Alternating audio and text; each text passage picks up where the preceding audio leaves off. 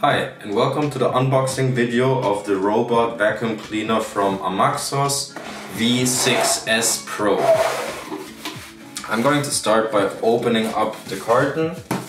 So firstly we have the instruction manual. Then we have the vacuum cleaner itself. And here we can see a detailed close-up of the vacuum cleaner. We also have the charging station as well as the adapter to power on the charging station. So we also have this attachment which is for the wet cleaning.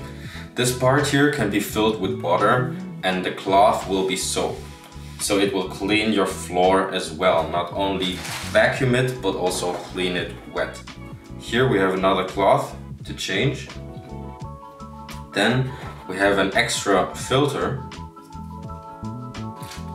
We also have these four attachments which are there to make sure that the vacuum cleaner also gets parts of the corners.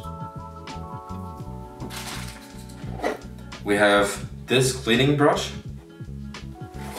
We also have stickers with the name Amaxos. And lastly, we have the remote control to power on or control the vacuum cleaner remotely. Thank you for watching.